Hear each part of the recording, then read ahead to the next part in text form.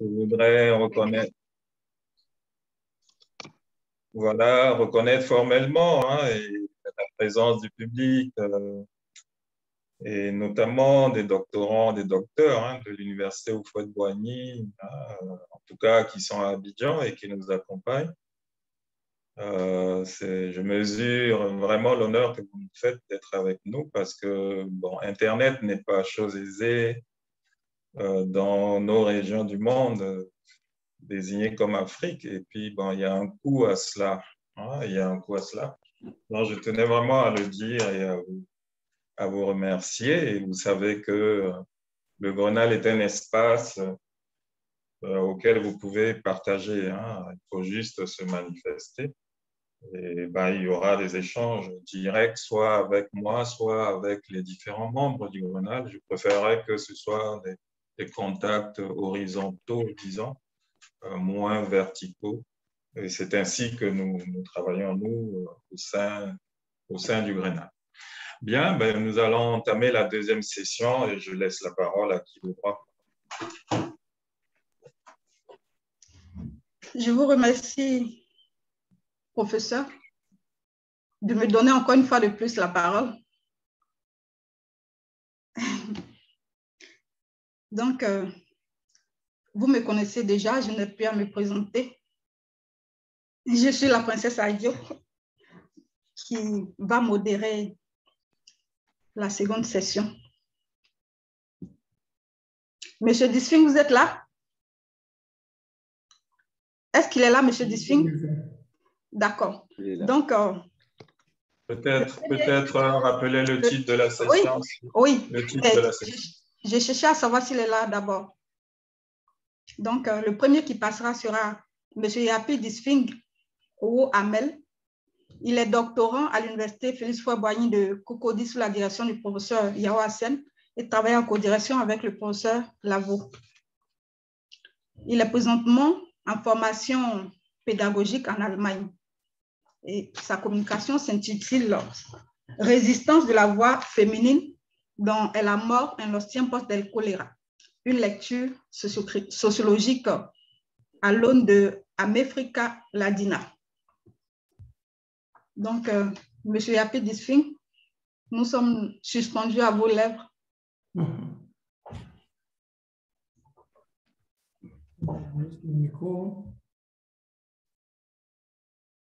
J'espère que vous me voyez. Oui, on te voit très bien.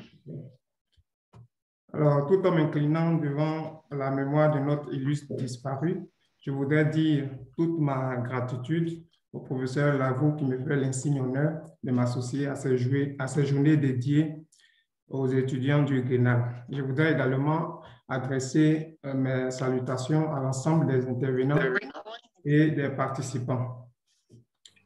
En lien avec la thématique qui focalise notre attention ce jour, je traiterai de la résistance de la voix féminine dans La mort, un ancien pot de choléra, une lecture sociologique à l'aune de América Ladina. Alors, de quoi s'agit-il concrètement? Il s'agit euh, de mesurer à l'aide de la sociologie la question de l'émancipation de la femme à la lumière du concept de América Ladina. Une question certainement suspendue à vos lèvres est celle de savoir pourquoi avoir produit des réflexions sur la résistance de la femme. Alors, la réponse à cette question réside dans un constat que j'ai fait, lequel constat tient au fait que la femme joue un rôle prépondérant, un rôle central dans l'imaginaire de Gabriel García Márquez qui a lu Gabriel Garcia Marquez, qui a arpenté les méandres de sa fiction littéraire, a dû certainement s'en rendre compte. De la Ojarasca à Vivi Paracontala, en passant par des romans tels que Crónica de una muerte anunciada, El coronel no tiene quien l'escriba, La mort en los tiempos de choléra, qui est l'œuvre à investiguer, la femme demeure un élément inéluctable, un élément irréductible de la fiction de Gabriel Garcia Marquez. Si Gabriel García Márquez place la femme au cœur de son imaginaire, il n'en demeure pas moins que celle-ci se trouve très souvent en face de cet univers dans la mesure où elle se voit investie d'un pouvoir, d'une autorité qui la démarque des autres personnages.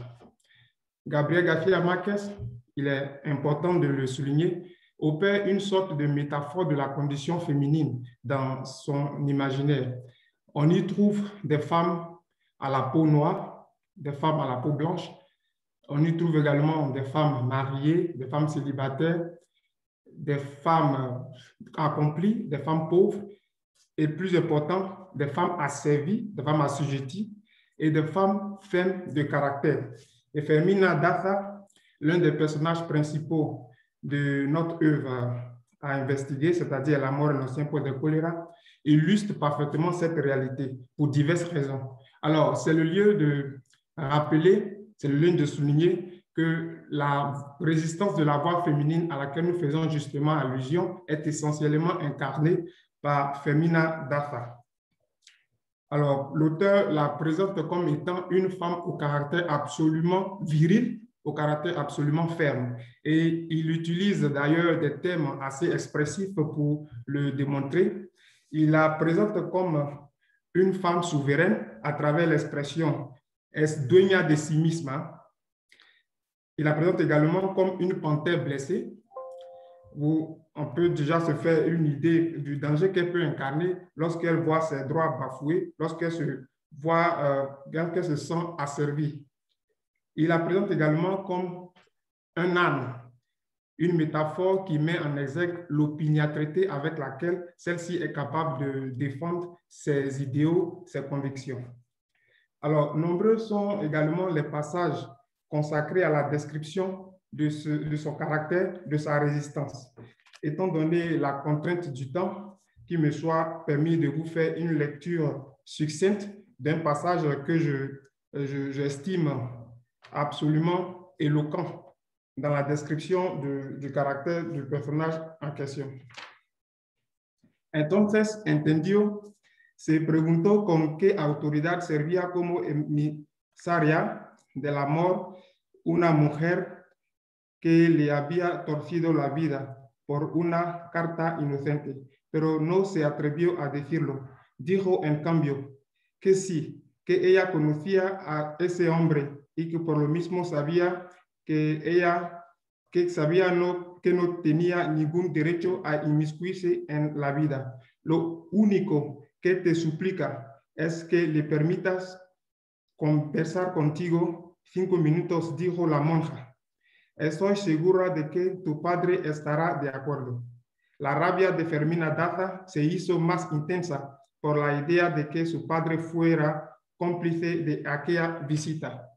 Nos vimos dos veces cuando estuve enferma. Dijo, ahora no hay ninguna razón. Para cualquier mujer con dos dedos de frente, ese hombre es un regalo de la divina providencia, dijo la monja.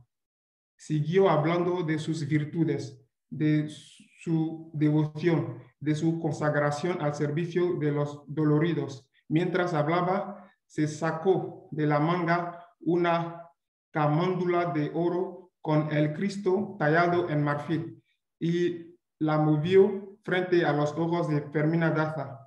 Era una reliquia de familia antigua de más de 100 años, tallada por un orfebre de Siena y bendecida por Clemente IV. Es tuya, dijo. Fermina Daza sintió el torrente de sangre atropellado en sus venas y entonces se atrevió. No me explico ¿Cómo es que usted se presta a esto?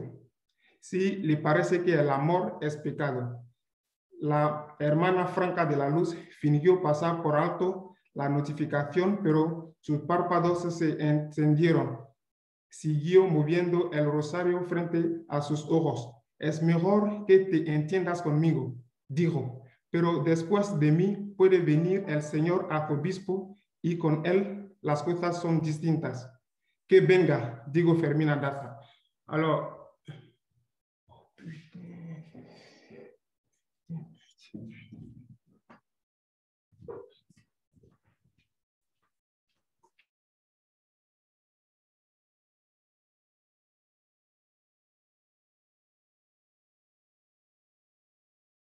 Ça va, Monsieur Disping?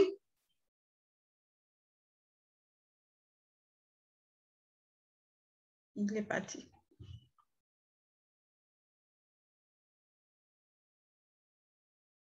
Bon.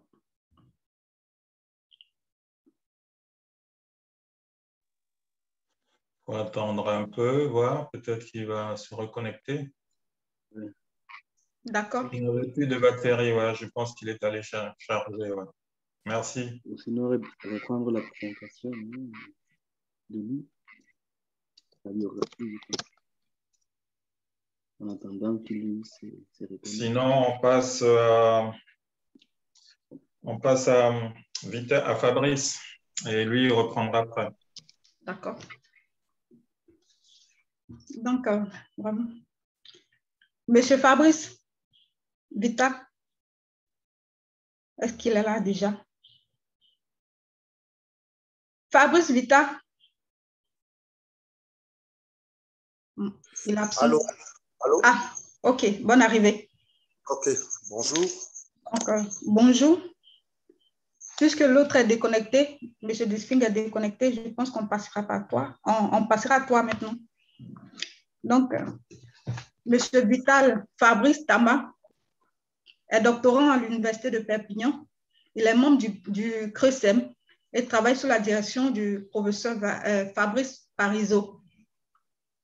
Le titre de sa communication est Émergence de la voix féminine, subalterne, représentation aphalocentrique des méta-récits dans les œuvres romanesques de Nsang, Nsue et Mekui.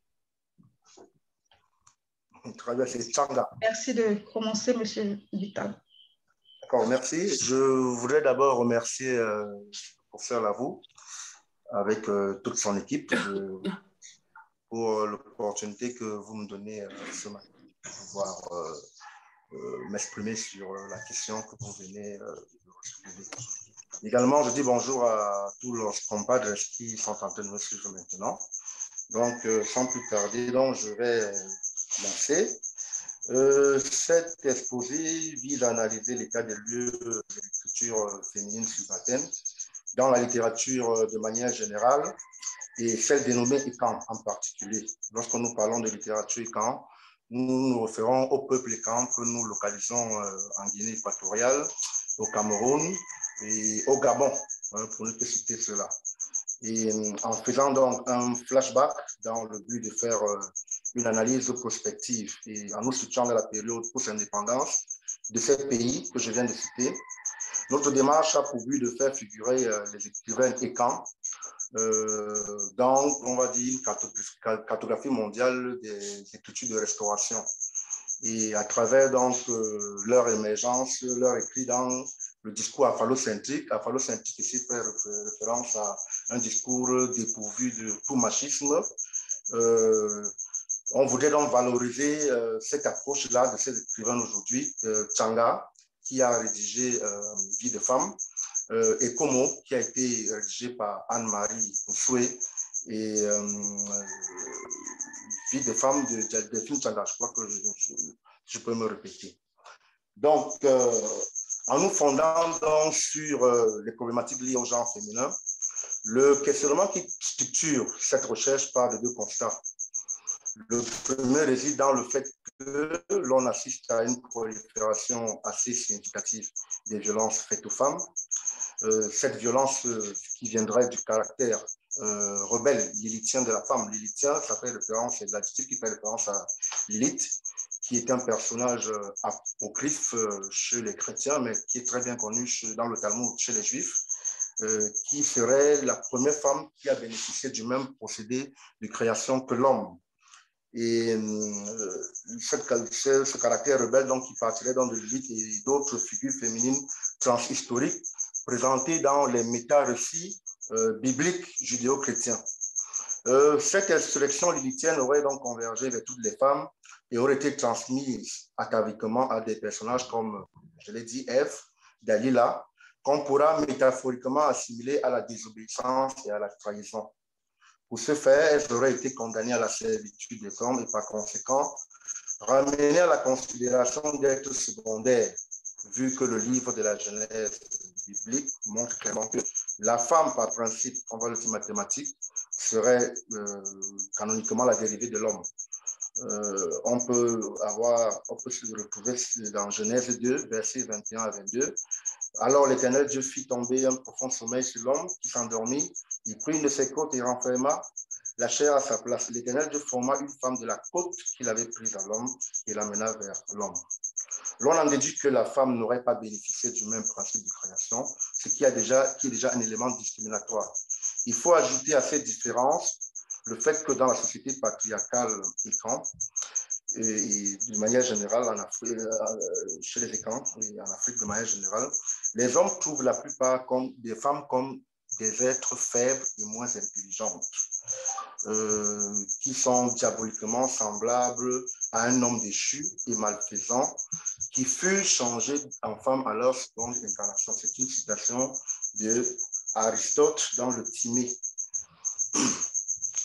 Au fil du de l'histoire, euh, ces fondements ont, contribué à, à accentuer l'idée qu'on a eue de la femme comme être faible, ce qui a euh, tenu à l'air marginalisé comme on peut l'apercevoir aujourd'hui.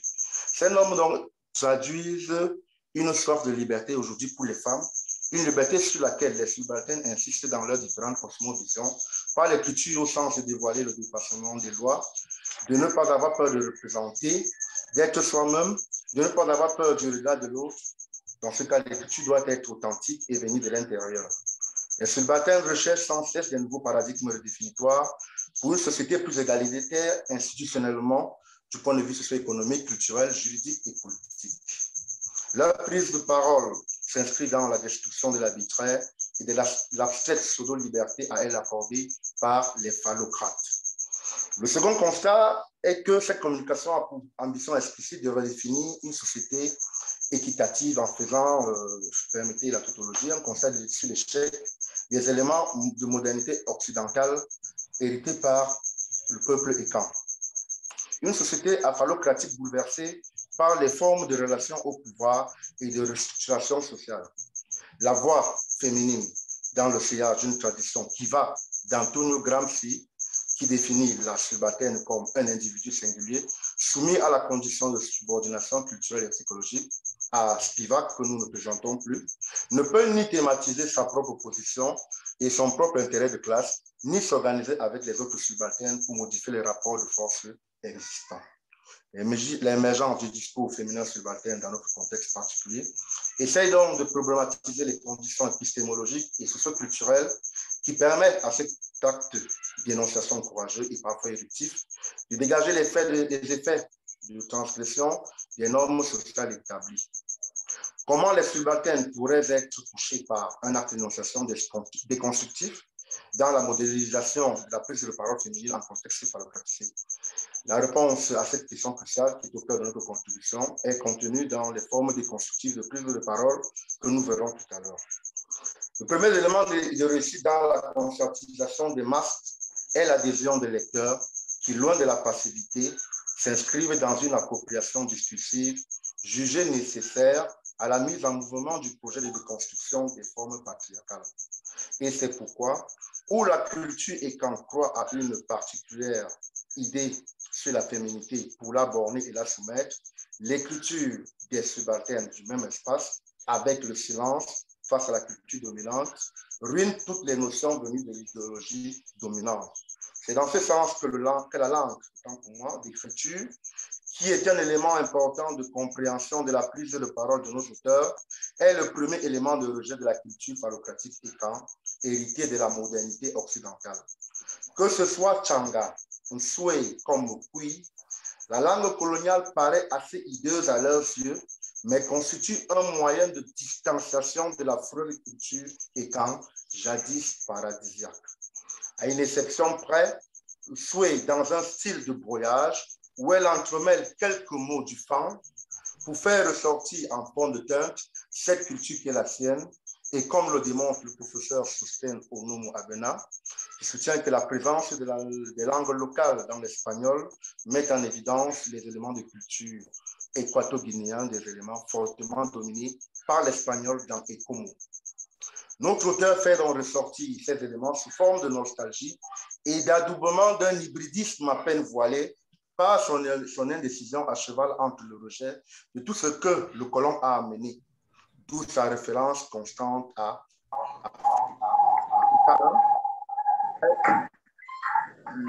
un ancêtre commun en tout le temps.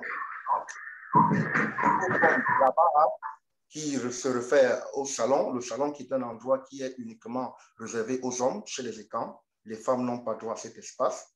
Et au Bilobo Lobo, qui est en écan la version la plus répugnante d'autrui dans ses rapports avec ses alter ego.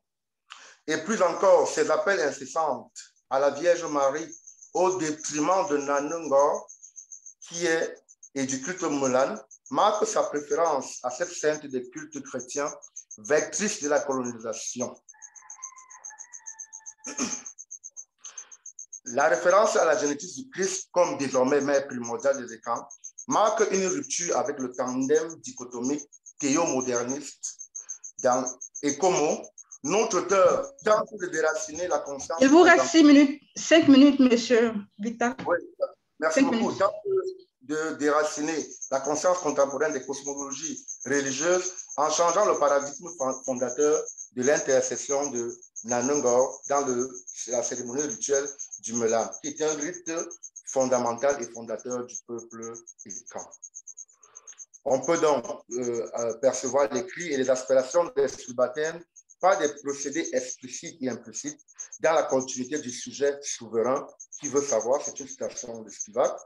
Nos auteurs s'inspirent dans le ciseau qui, dans l'écriture comme un moyen efficace contre les lois qui oppriment les femmes, par la langue et les écrits, nous pouvons voir comment elles surmontent ses limites. C'est pourquoi nos corpus, dans nos corpus, la tonalité parfois agressive et naturaliste pourrait être considérée à première vue comme un écart par rapport aux traditions littéraires propres aux femmes. Une écriture présentée de temps à autre comme polie et respectueuse, parfaite intériorisation du discours hégémonique qui naturalise leur position dans la structure sociale. En accord avec le comportement demandé aux femmes en société, l'inscription du fait social dans l'univers textuel et les réalités qui peuvent vivre les femmes et quand est un point d'ancrage des subalternes féminines dans leur cosmovision pardon, subversive, transgressive et déconstructiviste. Le discours socio-littéraire reconnaît que la littérature est plurielle et qu'elle se différencie selon une stratification sociale. En toute effectivité, toute communauté développe des luttes endogènes pour protéger et diffuser les éléments de sa de sa culture, qui, transparaissent inéluctablement dans les méta récits en vigueur.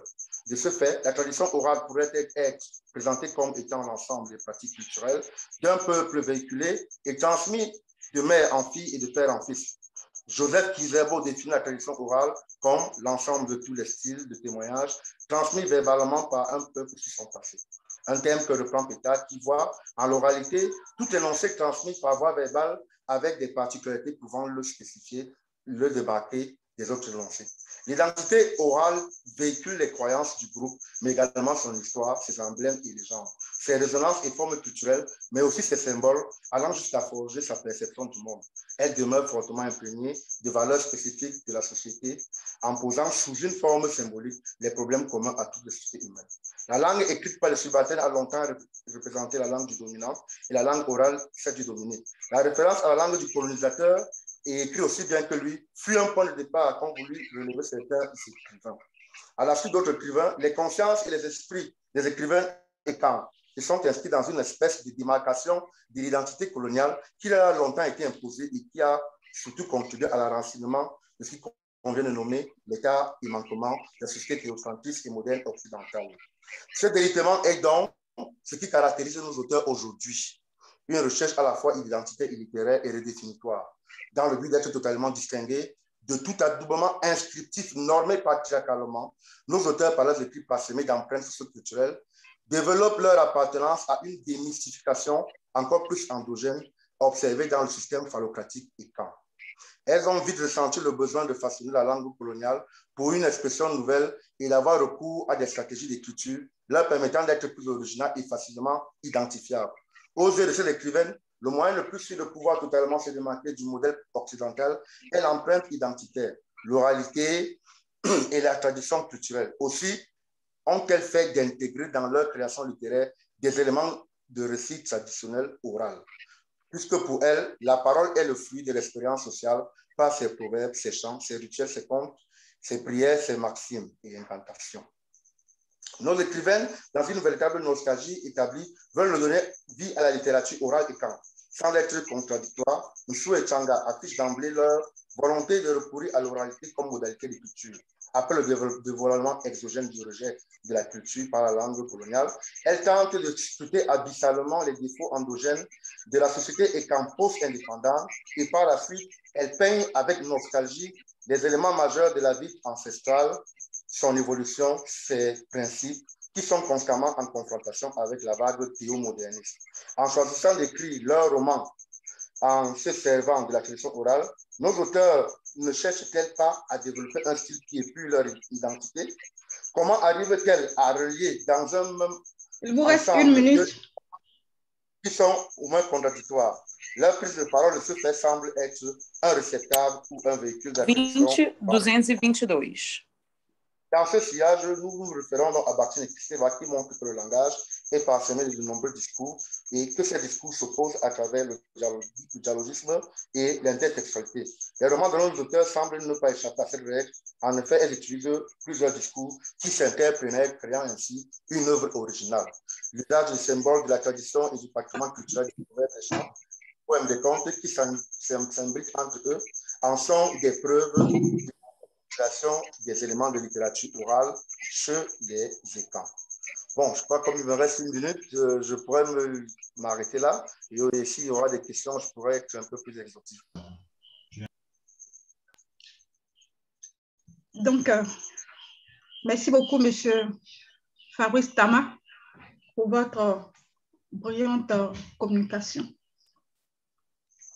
Vous avez fini à l'heure juste. On passera à M. Yapi Dispin à nouveau. Donc, comme je le disais, M. Yapi Disping est doctorant à l'Université Félix Boigny de Cocody sous la direction du professeur Yao et il travaille en coordination avec euh, le professeur Lavo Victorien. Il est actuellement en formation pédagogique en Allemagne. Sa communication s'intitule Résistance de la voix féminine dans El amor en los tiempos del cólera de Gabriel García Márquez, une lecture sociologique à l'aune de América Latina. Donc, Monsieur Afi, vous avez la parole, si vous, voulez, si vous le voulez bien. Je voudrais réitérer mes excuses pour les désagréments. Il y a un ordinateur qui est très capricieux actuellement. Encore une fois, toutes mes excuses. Vous euh, rallumer votre caméra, s'il vous plaît. Est-ce qu'il l'a accepté? Vous pouvez y aller. OK. Donc, je ne sais pas si je continue ou je me suis arrêté. Vous reprenez, s'il vous plaît, parce qu'on a perdu le fil conducteur.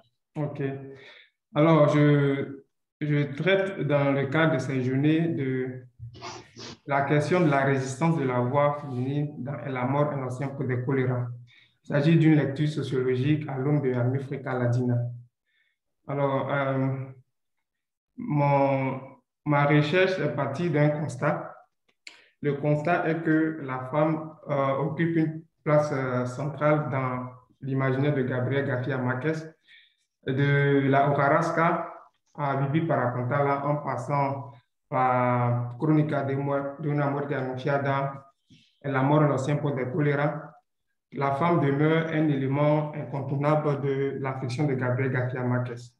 S'il est vrai que Gabriel Garcia Marquez place la femme au cœur de son univers littéraire, il n'en demeure pas moins que celle-ci se retrouve aussi en face de cet univers dans la mesure où elle se voit investie d'un pouvoir, d'une autorité qui la démarque des autres personnages.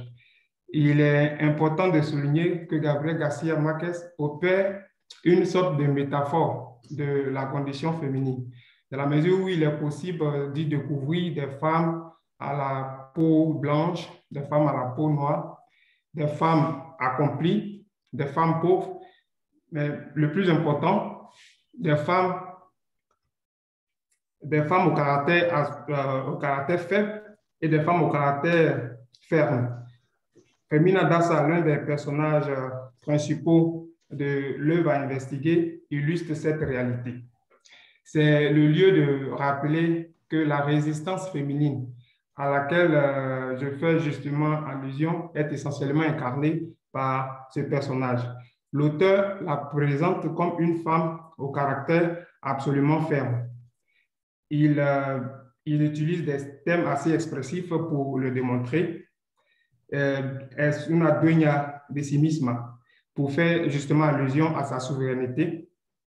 Il assimile également à une panthère blessée, una pantera herida, pour dire à quel point elle peut être dangereuse lorsque, lorsqu'elle voit ses droits euh, fondamentaux foulés aux pieds. Il assimile également à un âne, est una mula, pour mettre en exergue l'opiniâtreté avec laquelle celle-ci peut défendre ses idées. Nombreux sont les passages consacrés à sa résistance, consacrés à la description de son caractère. Alors, euh, je voudrais encore une fois vous faire lecture d'un passage que je trouve euh, assez pertinent dans la description du, personnage.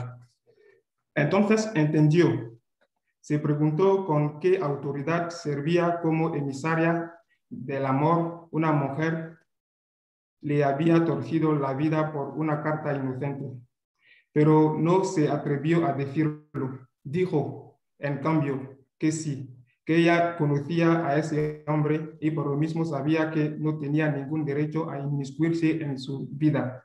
Lo único que te suplica es que le permitas conversar contigo cinco minutos, dijo la monja. Estoy segura de que tu padre estará de acuerdo.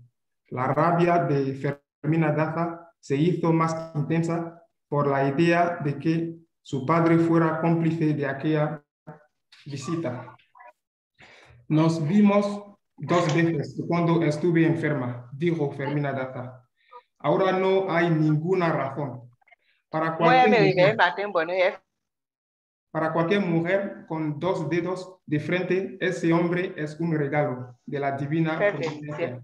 Dijo la monja. Siguió hablando de sus Le micro, Elodie, s'il vous plaît. De su convicción, de su devoción, de su consagración al servicio de los doloridos. Mientras hablaba, se sacó de la manga una amándula de oro con el Cristo tallado en marfil. Elodie, votre micro est activé. A los ojos de Fermina Daza. Era una reliquia de familia antigua de más de 100 años, tallada por un orfebre de Siena y bendecida por Clemente IV. Es tuya, dijo. Fermina Daza sintió el torrente de sangre atropellado en sus venas y entonces se atrevió. No me explico por qué es que usted se presta para esto si le parece que el amor es un pecado. La hermana Franca de la Luz fingió pasar por alto la notificación, por sus párpados se entendieron. Siguió moviendo el rosario frente a sus ojos. Es mejor que te entiendas conmigo, dijo, porque después de mí puede venir el señor arzobispo y con él las cosas son distintas. Que venga, digo, per, euh, dijo Fermina Daza. Alors, ce passage est un monument de la résistance de la femme latino-américaine. À travers ce passage, on voit à quel point Fermina Daza est une femme qui demeure droit dans ses bottes quand il s'agit de la défense de ses droits. Alors, il s'agit là de la visite que lui rend euh, la sœur Franca de la Luz, qui est la directrice euh, de l'établissement que Fermina Dassa a fréquenté. De cet, établissement, elle euh, se fit expulser parce qu'elle fut euh, surprise en train d'écrire une lettre d'amour à son amant Florentino Arifa. Alors la nouvelle parvient à son père qui décide de la punir en la contraignant au voyage de l'oubli, el, el viaje del olvido. Alors, pour mieux rendre compte de la question de la résistance, nous allons articuler notre réflexion autour de trois axes.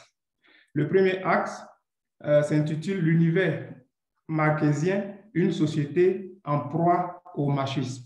Alors, il est question ici de faire un état des lieux. Il est question de nous interroger sur les rapports entre l'univers entre la société du roman et le machisme. Il est également question euh, de sonder les rapports asymétriques entre l'homme et la femme. Alors, dans la deuxième articulation de notre réflexion, nous allons traiter de l'émergence de la femme féminine à la domination masculine. Alors, nous allons montrer euh, comment Fermina Dassa apporte une réponse cinglante à toute tentative d'assujettissement.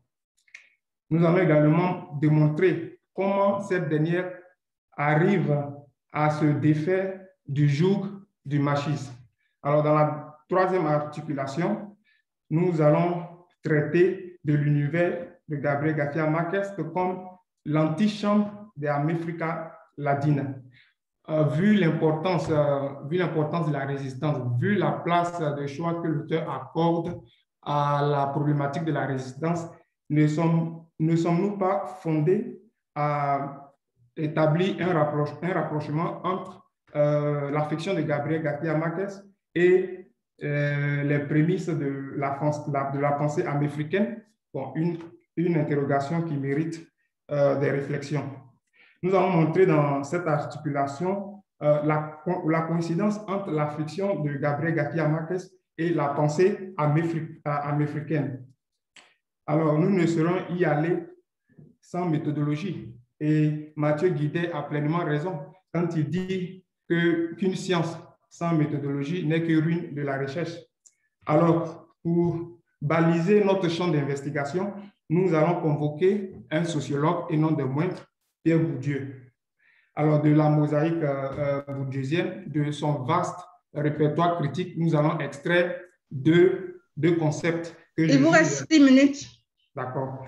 Que je juge assez euh, pertinent pour l'atteinte de nos objectifs. Il s'agit en l'occurrence du concept de la domination et de la distinction. Alors, pourquoi interroger la domination? La domination pour établir le rapport de force entre l'homme et la femme dans l'œuvre de Gabriel Garcia Marquez. Avec la distinction, il sera euh, question de démontrer la diversité des goûts, parce que euh, la plupart des tensions qui jalonnent l'histoire que Gabriel Garcia Marquez raconte euh, tirent leurs racines d'une mauvaise appréciation des goûts. Alors, nous allons euh, essentiellement articuler euh, nos réflexions autour euh, de ces concepts de Pierre Bourdieu afin d'atteindre nos objectifs. C'est sur ces mots que je voudrais mettre fin à ma communication.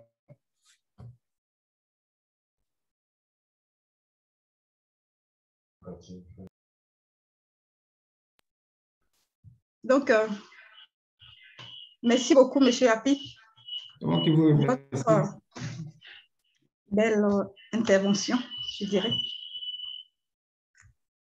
Encore une fois, toutes mes excuses. Hein? Ne vous inquiétez pas. On passera à la troisième et dernière intervenante de notre session. Donc, Madame Angarboué Azizé, Grâce Cathy, est docteur en études ibériques et latino-américaines de l'Université de Perpignan. Elle est membre du Grenal et chercheur associé au Centre de recherche sur les sociétés et environnement en Méditerranée.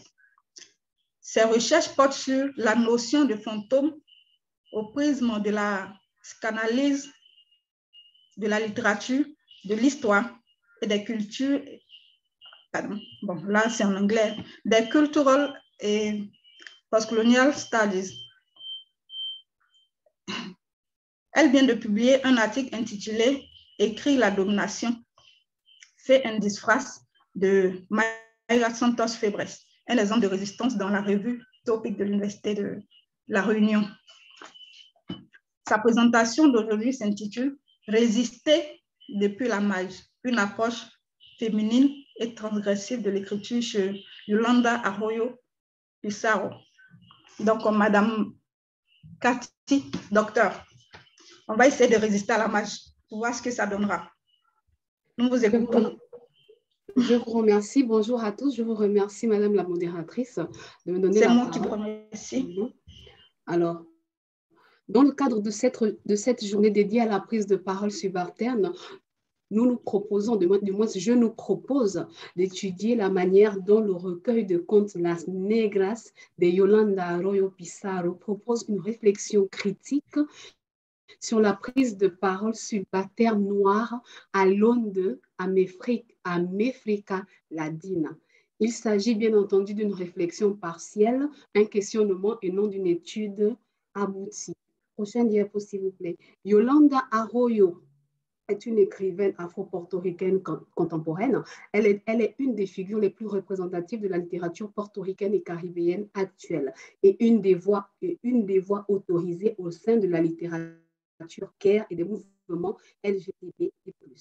Sa production littéraire a été traduite en plusieurs langues et elle est également coordinatrice de la cathédrale des Mujeres Ancestrales. Pardon, on ne voit pas très bien le, le power. Hein. On l'aperçoit dans un angle, dans un point. Est-ce qu'il y a moyen de centrer Palenquero ou pas? Centrer quoi, maestro? Euh, La première image, elle est vraiment minuscule, on ne voit pas très bien. Les diapos? Oui, le diapo. C'est bizarre. Ou c'est bon. Et, et dans l'ordi, ça se voit bien ou, ou pas? Est-ce que les autres, les autres membres du public voient très bien ou... Parce que normalement, là, Ah oui. Oui, oui, oui, à moi, ça va. À moi, c'est très bien l'image. Oui. D'accord, d'accord, ok. Bon, ben, Sinon, je on- on voit bien. Oui, ça se voit. Oui, moi aussi, ça va, ça va, je vois très bien aussi. D'accord, merci. Bon, ben, Chez moi également, ça va. d'accord, continuez alors. Euh, je ne sais pas si vous me voyez toujours. Oui, un petit écran. oui, c'est bizarre. Bon, je sais pas. Je, je redéfinis normal. Cathy. Allez-y. C'est normal, Cathy, parce que comme tu euh, il y a la présentation. Voilà. D'accord, ok. Donc, je disais tantôt qu'elle est également coordinatrice de la cathédrale des Mujeres Ancestrales Negras qu'elle a, elle a créée en 2015 afin de débattre, de débattre des luttes des femmes noires ancestrales et de leur rôle fondateur dans les formations identitaires à Porto Rico. Alors, Las Negras réunit une trilogie de trois contes. Moi, diaporama suivante, s'il vous plaît. Euh, une euh, trilogie de trois contes, Wawe, Matronas y Saetas. Ces contes vont à l'endroit des historiens, comme l'énonce elle-même dans, euh, dans la dédicace de son livre, a los historiadores por habernos dejado fuera. Aquí estamos de nuevo, cuerpo presente, color vigente, declinándonos a ser invisibles, invisibles, rehusándonos a ser borradas. De prime, abord, nous notons que le titre de l'ouvrage revêt déjà une importance dans le choix de son orthographe. L'auteur a, a utilisé las negras, donc on voit l'article en- minuscule, mais le N majuscule de las negras semble déjà annoncer une émancipation de la subordination dans le discours hégémonique officiel. Le choix libé- délibéré euh, de faire apparaître euh, le mot negras en gros caractère peut également donner à penser que l'auteur veut donner voix et dynamisme aux femmes noires esclavisées et réduites au silence dans l'histoire officielle euh, portoricaine. La bouche bâillonnée marque la volonté de l'histoire de réduire au silence la voix des Noirs, la voix de la privation, de la subordination, et envers des, catégories déjà discrètes, des, catégories euh, déjà frasi- fragilisées, les femmes ou les enfants. Alors, le premier conte de cette trilogie intitulée Mouaoué relate le récit d'une jeune femme noire arrachée de force à sa terre natale et conduite loin des siens, dans un bateau vers une destination inconnue. Durant le trajet, Mouaoué pense à son enfance, à sa famille et surtout au rite initiatique destiné aux femmes telles que le rite de l'Ure-Ore, dans lequel las niñas que se han criado unidas como hermanas duermen una pegadita a la otra, formando una hilera de que, una, que une cada cual por el área de los hombres. El juego de los hombros es un juego de féminas prohibido a los machos. machos. Es sabido que el, gesto de hombros con hombros es un preámbulo serio al ritual del casamiento. On pourra retenir dans cet extrait, dans ce conte, l'attachement aux valeurs traditionnelles africaines d'une part, mais aussi un moyen de résister face à l'insupportable déportation. Dans ce bateau négrier, aucun retour n'est envisageable. Les femmes capturées sont alors marquées par le feu avec les initiales de leur maître. En outre, dans ce, même conte, la narratrice fait appel aux dieux de la forêt qui semblent avoir abandonné les Noirs. Los seres ancestrales no las liberan, no hacen acto de presencia a pesar de haber sido convocados con todas las fuerzas, no hacen acto de presencia, Orun, Olodumare, Baba, Ija, ni las dioses que, aún están en la tierra, ni los verbos conjugados desde el cielo, ni los sabios del mar, ni las esencias ancestrales del culto. De, del, de, del culto. Le second conte de cette trilogie intitulée Matronas relate l'histoire de Dinzi, une esclave sédiciosa et insurrecta qui a décidé de résister au joug du maître esclavagiste. Dans son récit, Dinzi affirme que la première chose qu'elle a apprise en arrivant dans le Nouveau Monde était la langue du maître. Elle parle plusieurs dialectes et elle souligne que Esas frases las recuerdo perfectamente en mi idioma. Hay otras que llegan en mi mente en otras lenguas, lenguas dependiendo de, cantidad, de la cantidad de tiempo que haya pasado, haya pasado en algunas plantaciones rodeada de gente de otras castas. También recuerdo las palabras en castellanos. Además, sé un poco de la lengua de los nativos, aquellos que los blancos llaman taínos y que escasean. Ici, l'auteur veut mettre en relief l'importance de la mémoire ainsi que le pouvoir de la langue. Pundizi, pour affronter le maître, il faut dominer sa langue et maîtriser ce discours. Ce discours. Et ce récit viendrait peut-être à proposer une nouvelle relecture de l'ouvrage de, de Gayatri qui, demande, qui pose la, la question de savoir est-ce que les subalternes peuvent parler. Ici, la maîtrise de la langue donne à penser, donne à voir euh, la langue euh, comme un pouvoir de résistance détenu par les subalternes qui sont supposés ne pas parler. Donc la prise de parole, la prise de, parole subalterne ici est présente et, la subalterne peut non seulement parler, mais elle peut aussi être entendue. Dans son récit, Ndizi raconte à un moine les raisons de son incarcération avant sa prochaine exécution. Ce qui attire l'attention euh, ce qui attire l'attention dans ce récit, c'est que Ndizi accepte de se, confier à un moine qui aurait été envoyé par, par les, maîtres. Mais euh, l'unico que quiere saber, la, seule chose que ce, maître veut savoir, c'est comment, comment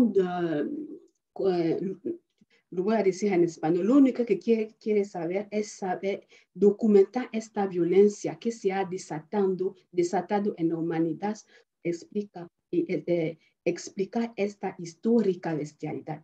Dans son témoignage, elle parle aussi de son enfance en Afrique avant d'être vendue à l'âge de 15 ans par, par les propres Noirs. Las mujeres er, éramos animadas a defendernos, a golpear, a morder, a morder, a arrancar. Las cosas han cambiado desde que, desde que los negros iniciaron secuestros hacia otros negros y nos entregaron a los portugueses u otros blancos. Elle parle également de sa captivité dans le Nouveau Monde où, une fois de plus, les déesses ancestrales africaines semblent les avoir abandonnées. Elle y dénonce également la violence psychologique et sexuelle du maître qui la subestima y entra al cuerpo de una mujer sin su.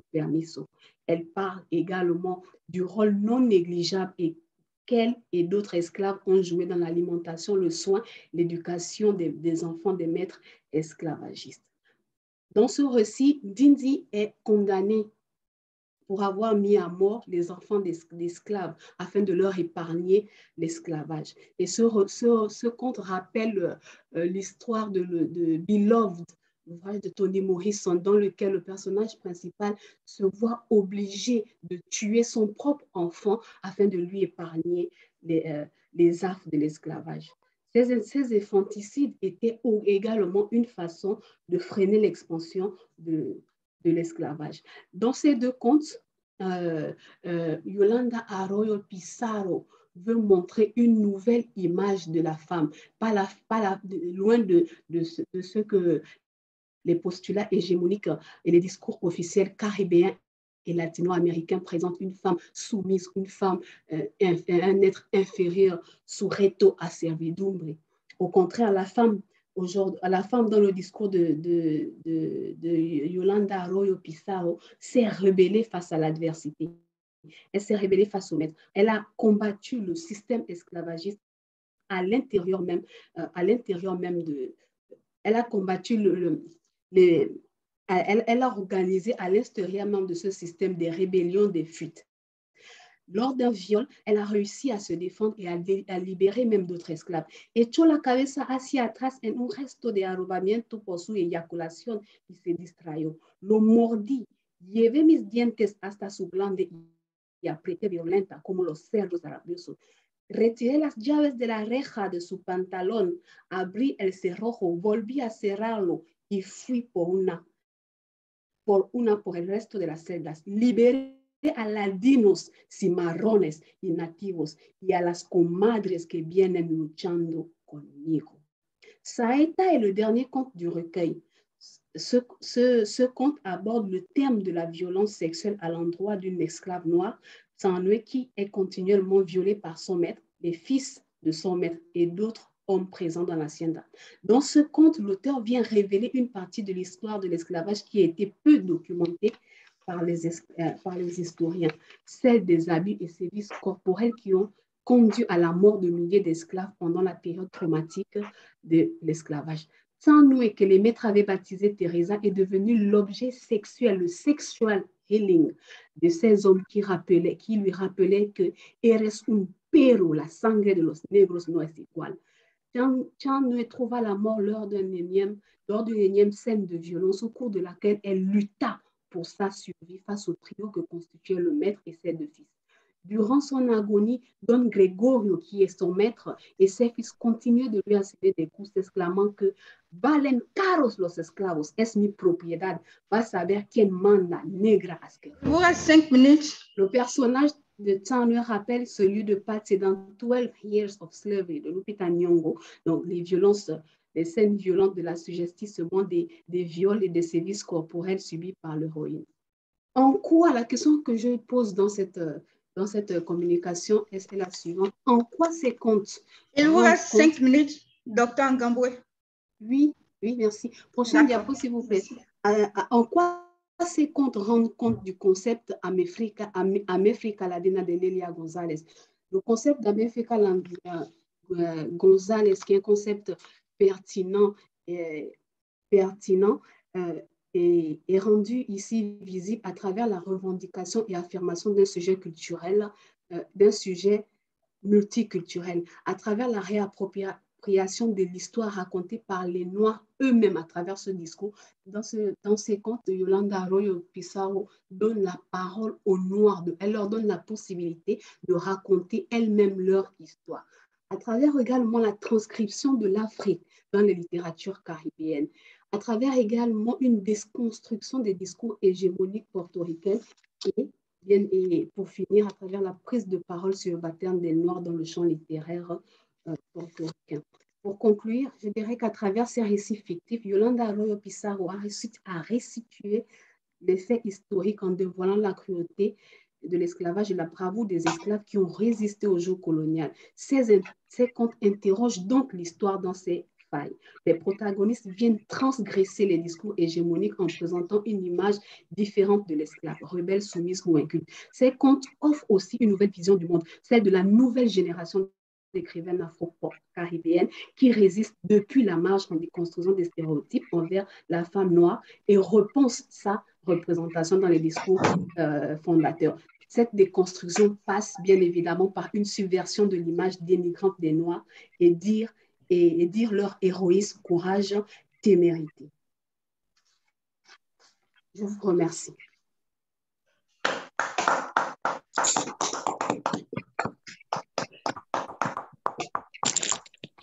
Ya abuela, ¿dónde está? ¿Y tu abuela, dónde está? Ah, ¿y? Vale, ah, j'ai mal vu. ¿Y tu abuela, dónde estás? ¿Dónde estás? ¿Dónde estás? Vale. Donc, merci à, à docteur Ngamboué pour ta brillante communication. Là, je pense qu'on va passer aux questions. D'abord, j'ai une question pour chaque intervenant. Je commencerai donc par M. Yapi Disfing.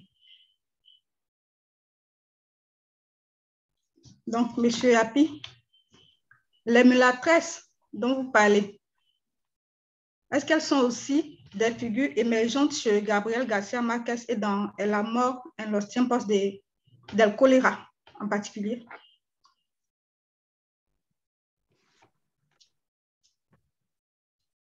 Est-ce qu'il est là, M. Disfing?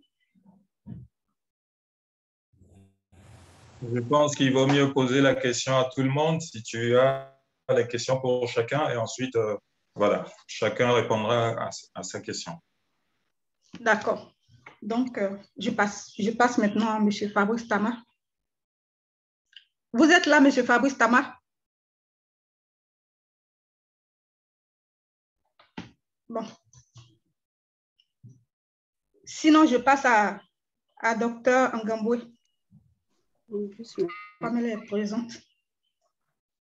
Donc, mes, mes questions sont sur le véritable lieu de la littérature. Alors, je te les retourne. Que peut la littérature à, Porto Rico, surtout quand elle est portée par les afro-cœurs revendiqués? La littérature, à, la littérature à Porto Rico portée par les afro, pardon, les afro? Les afro-cœurs. Les trans, ni. Exactement.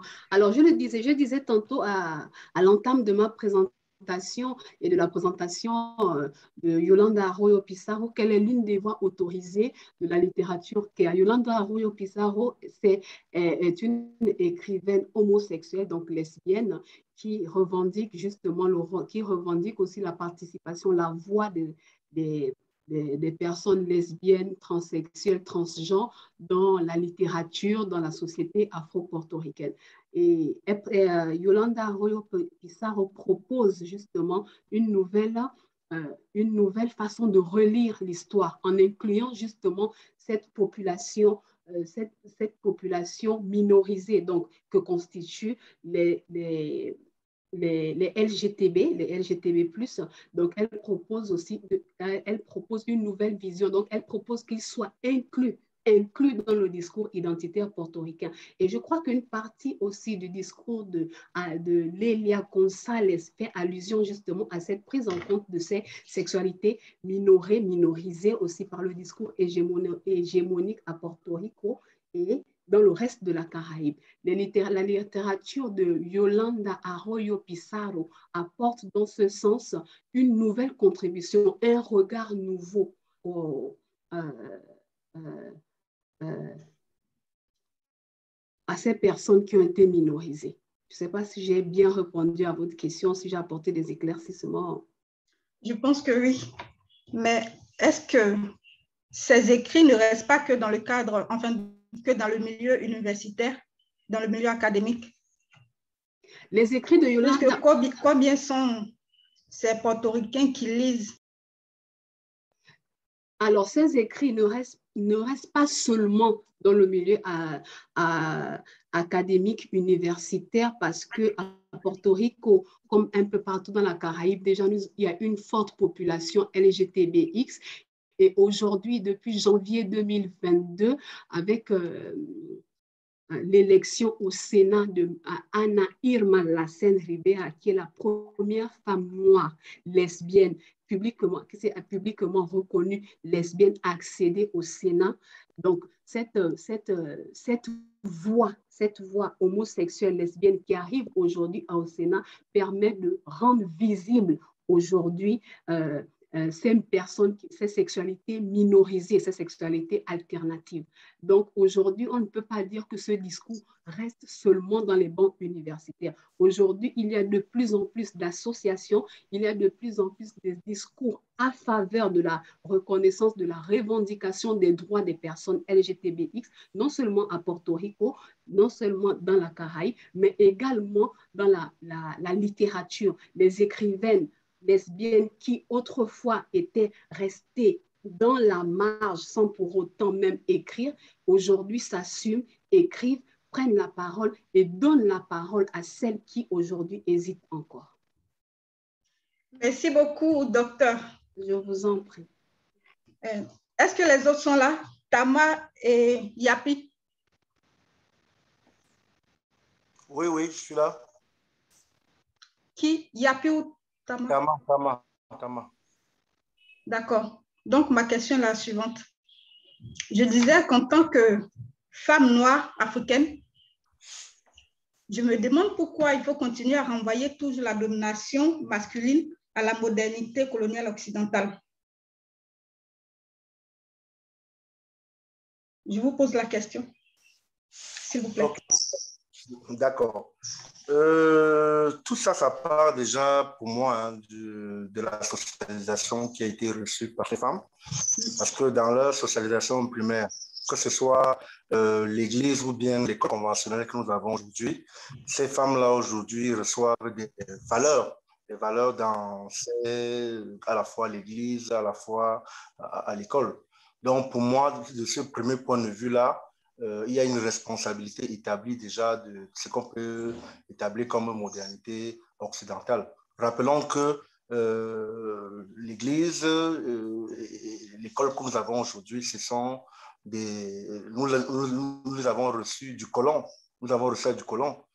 Et aujourd'hui, le travail que j'ai présenté tout à l'heure, c'est Souhait comme Mukui, aujourd'hui rejette totalement cette école occidentale, cette modernité occidentale. Pour elle, la, récréation ou bien alors euh, aux sources, les bonnes sources selon elle, hein, parce qu'elles ont encore catégorisé euh, tout ce qui con- contribue à avoir une société où règne la justice sociale, une société où, euh, la parité est mise en avant. Ce sont des éléments qui sont basés. Et c'est pour ça que dans Ecomo, par exemple, rédigé par Anne et Angoué, à partir du, du, livre 7, on nous retrace l'histoire de le- du peuple écan, comment le peuple écan a été, a créé.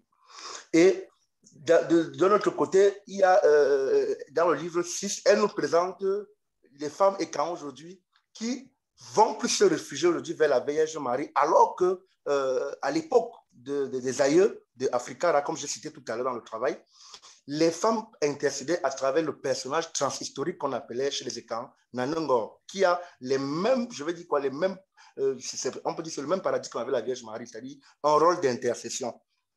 Aujourd'hui, donc, il faut donc rentrer à cette authenticité-là pour essayer d'avoir une société un peu plus juste euh, chez les écans et chez la femme, du moins de manière générale. Donc, il faut rechasser donc, les, codes, normatifs qui ont été instaurés par la modernité, parce que la modernité est venue avec la colonisation.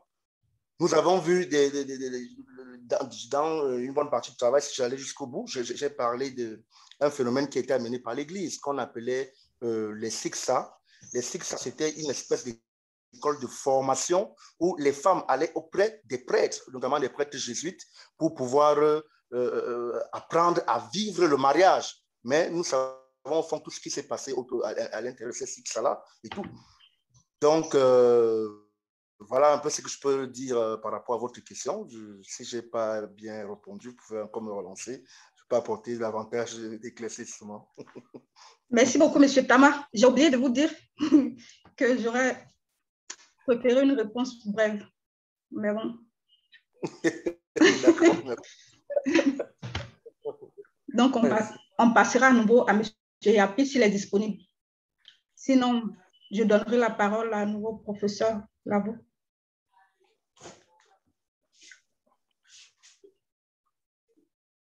S'il a des questions à poser. Merci, Yapi. Je pense qu'il n'est pas disponible.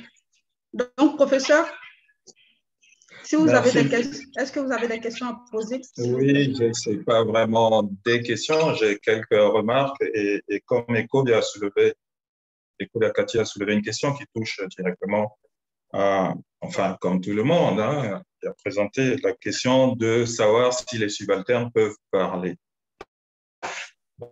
Et, donc, elle y répondait en disant qu'elle peut parler hein, et être écoutée, au contraire de ce que aurait dit euh, Gayatri Spivak dans son fameux essai qui a fait le tour du monde et qui continue à susciter des débats, alimenter des débats à, à ce niveau-là. Mais tout d'abord, je voulais dire hein, euh, mon intérêt pour les, trois interventions. Merci beaucoup hein, à, tous les trois.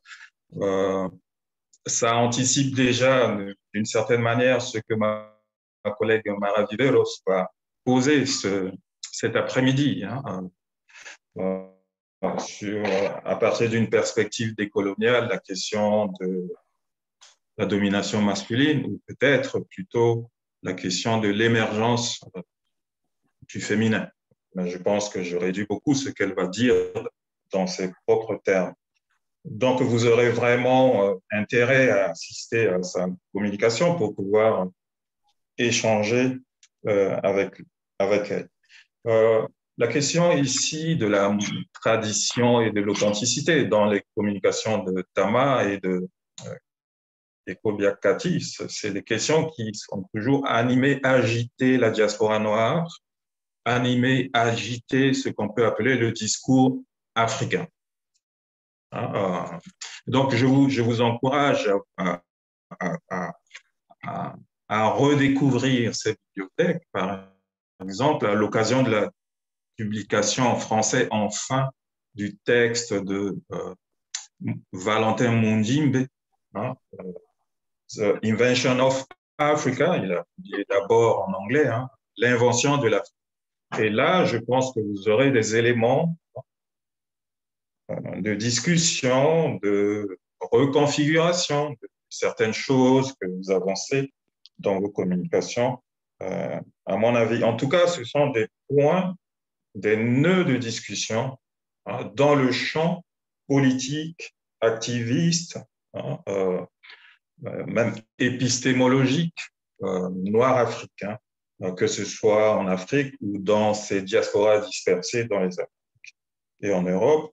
Euh, et manifestement, euh, ben voilà, il y a des, ça fait signe à ce que vos autrices disent, parlent dans leur dans leur texte, hein, dans leur texte. Ça, c'est quelque chose qui m'avait frappé.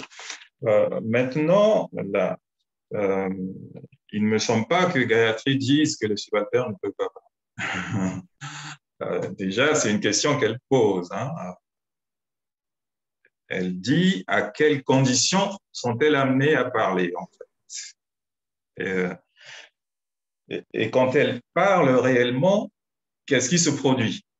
Si les subalternes pouvaient parler, on ne serait pas là à parler en leur nom.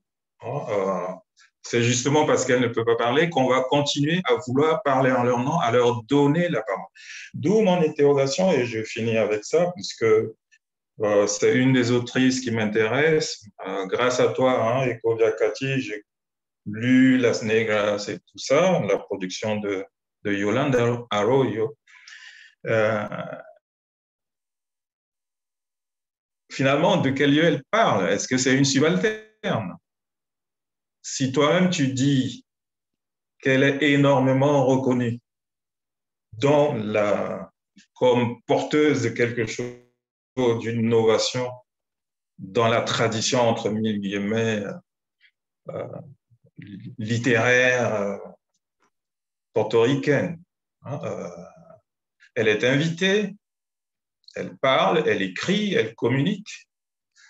Elle est aussi une activiste, elle est entendue, elle est écoutée. De ce point de vue, est-ce qu'on peut dire encore qu'elle est une subalterne, puisqu'elle a accès d'une certaine façon, ou de toute façon, elle a accès à, l'ordre symbolique donc ça, c'est la question que, je me posais, hein. de la même façon que Maïra Santofebre, qui est une écrivain noire, tout ça, est-ce qu'on peut encore dire que ce sont des sujets noirs subalternes parce que ce sont des femmes, parce que ce sont des noirs, parce que ce sont des LGBTQ. Ça, c'est une interrogation que je me faisais et je ne sais pas si tu la partages ou si il y a un espace pour échanger de cela euh, avec tout le monde, mais pas nécessairement là, hein, un autre moment de la journée ou de nos rencontres. On a l'avantage d'être tous les deux des résidents à Perpignan. Merci beaucoup. Merci. Merci.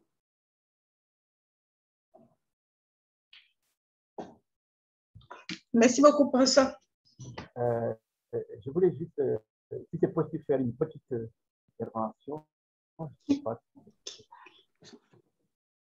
D'accord. On n'entend pas bien Donc, le maestro Alain. Qui parle? Le maestro Alain, Euh, on n'entend pas bien. perdu beaucoup de de conférences. Sinon, la personne peut, peut fermer son micro. Excusez-moi, on n'entend pas bien, s'il vous plaît. Ah bon? Euh, Vous m'entendez? Oui, maintenant ça va. Oui, je disais, je demande tu, pardon d'avoir tu peux apparaître à l'écran, Alain, s'il te plaît?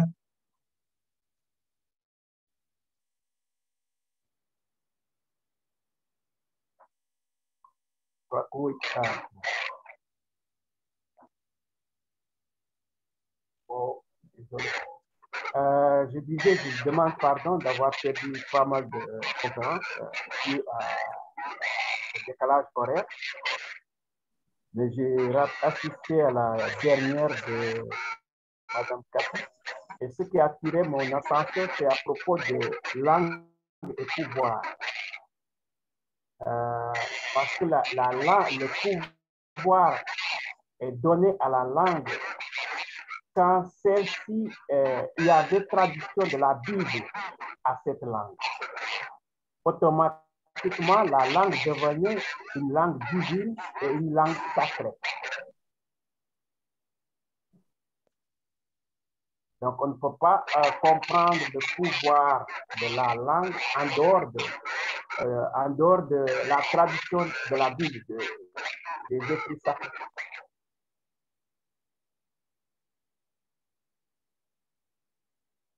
Je ne sais pas si vous comprenez. Oui, c'est- c'est c'est une contribution, hein, Yakati. Je, je suis désolée, Ah, mais je ne sais pas, il y a un retour, je n'entends pas très bien.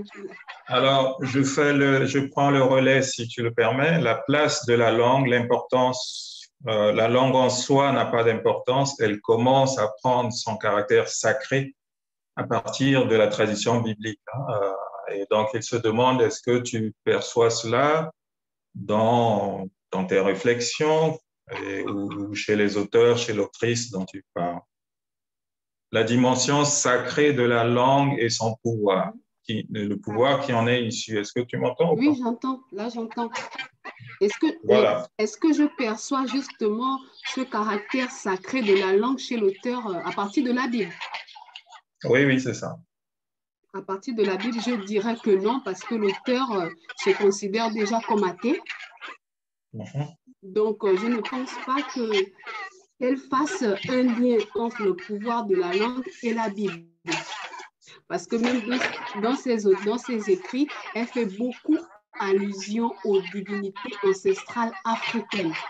Elle donne au contraire ce pouvoir, ce pouvoir euh, enfin, le pouvoir dont elle parle dans sa Bible, elle le confère plutôt aux divinités ancestrales africaines. Elle n'établit pas directement un lien, un lien sacro-saint avec la Bible, en, faisant. Mais est-ce que même de ce point de vue, il y a une sacralité conférée à ces divinités africaines comme source d'une parole précieuse, performative, transformatrice? Oui, je pense que oui. D'accord. Et, et sur la question que je te posais, euh, enfin l'interrogation, considères-tu que Yolanda Arroyo comme un sujet subalterne? Aujourd'hui, oui, je considère encore Yolanda Arroyo comme un sujet subalterne. C'est vrai qu'elle est connue, elle est connue, ce niveau autorisé surtout justement dans la littérature à Porto Rico. aux États-Unis et dans la Caraïbe, mais elle est toujours, elle est, elle n'est pas encore, je ne peux pas dire qu'elle est, elle est suffisamment reconnue dans son travail. Je pense, je ne peux pas. Et, pour moi, elle est encore d'une manière euh, ou d'une autre euh, subalterne. Et ça viendrait de quoi? De, de, de, sa sexualité, de sa race? Je pense, je pense juste, je pense que ça viendrait de sa, sa sexualité doublée à sa race, parce que y a, pour moi, il y a, il y a euh, un double, un double, une, une double subalternité dans ce sens. Non seulement subalterne pour être noir, mais aussi subalterne pour être homosexuel. Et en ce moment, malgré l'émergence, malgré euh, l'émergence des discours en faveur justement de la reconnaissance euh, humaine gens noirs et des sexualités alternatives, les discours euh, hégémoniques continuent quand même, continuent quand même de de, minimiser, je pense, de, minimiser l'apport justement de cette sexualité et de ces femmes noires euh, au projet identitaire de, de, Porto Rico. Donc, je pense que le travail n'est pas assez avancé pour dire qu'elles ne sont plus des sujets subalternes. Ok, ça, ce sont des... Merci beaucoup, Ecovia. Je... Bon, mais Madame la princesse... Euh, la modéradora, c'est à vous de conclure la session et puis on reprendra. Bon. Merci beaucoup à vous, à vous, Ekobia Kati et à Vital Tama, à Disfing aussi, même s'il n'est pas disponible. Merci, J'aurais voulu, j'aurais bien voulu demander s'il y a des personnes qui ont des questions à poser, vu que après mes questions, je suis passée directement au professeur Victorien. Mais je laisse le professeur d'abord répondre s'il est pour le fait que je prenne quelques questions. Oh oui, bien sûr. D'accord. Donc, est bien sûr, bien sûr, il faut échanger. Est-ce qu'il y a des personnes qui ont des questions à poser?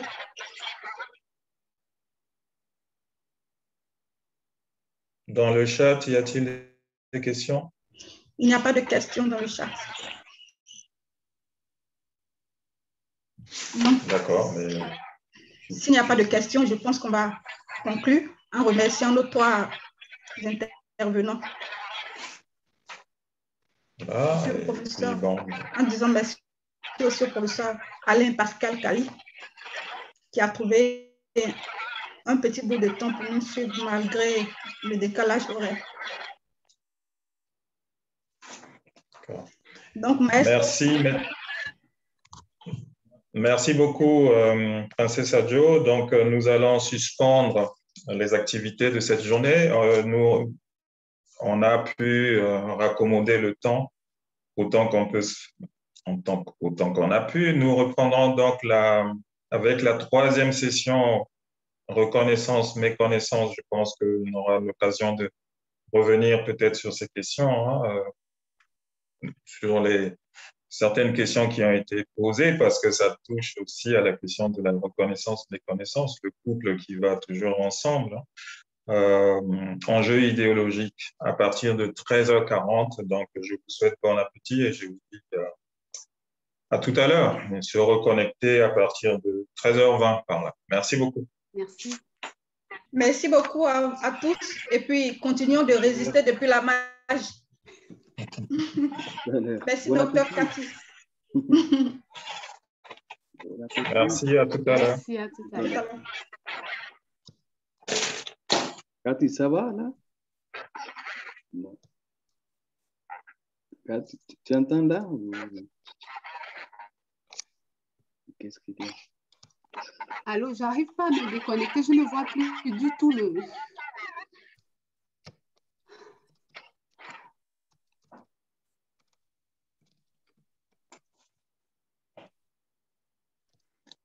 Tu vas sur le Ecovia, tu vas sur le lien et tu trouveras quitter.